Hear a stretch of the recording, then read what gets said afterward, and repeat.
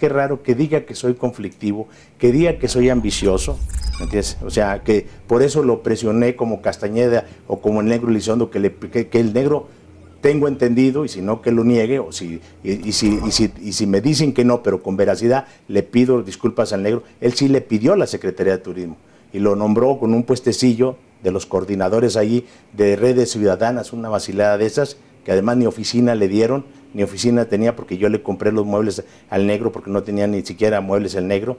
O sea, ¿Ahí en eh, Los Pinos? Ahí en Los Pinos, allí, allí hay muebles míos, pagados por mí. Ah, ah, bueno, luego se llevó algo, algo, algo a la Secretaría de Turismo. Ya cuando finalmente, no por exclusión, no por reconocimiento, porque, porque yo creo que si hubiera tenido, o sea, de alguna manera, reconocimiento que el negro tenía capacidad para dirigir turismo, pues lo hubiera nombrado desde un principio, como nombró otra gente o el mismo Castañeda. Pues ¿Castañeda pidió el cargo? Porque yo sepa, primero precisamente esta es la defensa de Castañeda en, cierto sentido, o sea, o sea, no es que Fox este, batalló para poderme nombrar secretario de Relaciones Exteriores por la, por, por, la oposición del PAN. O sea, porque ya ves que a Castañeda sí, a él sí, por conflictivo sí no lo querían en el PAN. ¿Y no ayudó a Castañeda a llegar a la secretaría? No, tampoco. Yo lo que yo lo que sé, porque porque creo que tenía y que obviamente Castañeda en un momento se lo puso a, Fox contra la pared que le dijo, o me da la Secretaría de los Señores o no quiero nada. Entonces Fox, yo supongo que con esa presión al estilo muy, de muy iracunda como es, como es, como es Castañeda, pues Fox tuvo que aceptar, aún en contra de la oposición del PAN. Y luego después, he dicho también por él, cuando se sale ya de la Secretaría de Relaciones porque ya no, porque veía que ya no tenía que hacer y además él dicho por él pues, que las cosas iban a venir eh, de mal en peor en la Secretaría, entonces salió se salió, pero primero pidió la Secretaría de, Educación, cosa que ya Fox no le dio.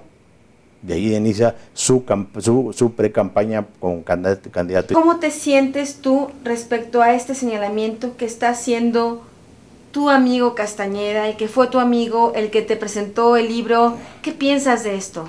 Eh, pues un barbaján, cuate que vende hasta su mamá por dinero, como no tenía de dónde sacar dinero para su pre-campaña.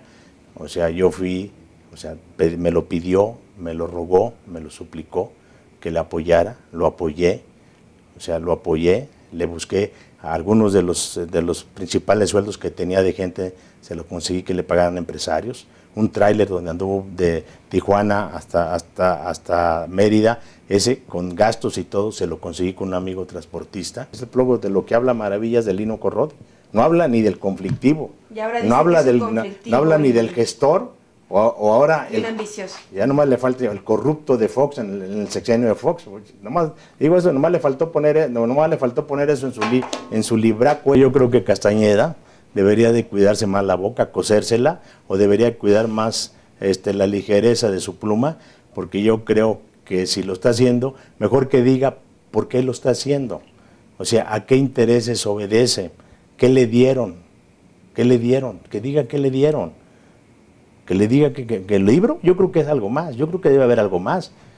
Por ahí Castañeda tenía una, tenía una deuda en Televisa de 3 millones de pesos, por lo que él mismo me dijo y que traía broncas para pagarla. Por su campaña presidencial. Por lo de su precampaña.